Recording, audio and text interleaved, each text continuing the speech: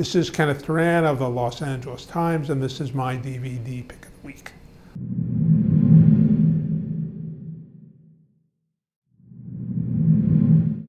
You know, when people think about silent films, they often think of slapstick, they think of crudeness. The last thing they think of is sophisticated emotional filmmaking.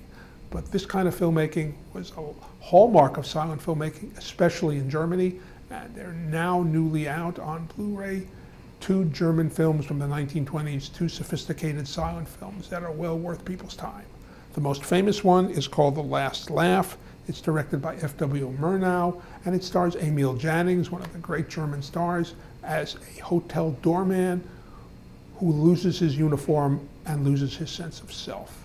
It's a heartbreaking film, it's a very celebrated film, and it's great to see it available for home viewing.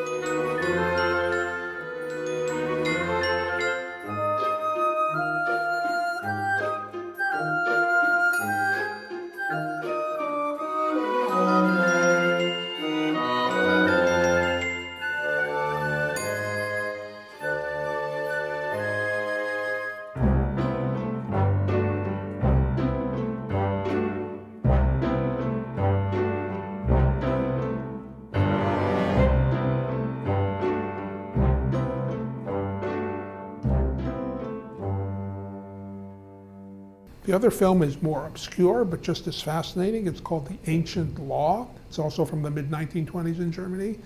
It's a story very similar to the story that Al Jolson used in The Jazz Singer, the story of a young man from a Jewish family who wants to have a life in the theater, forsakes his Jewish heritage to have a stage life, and then starts to worry if he's done the right thing.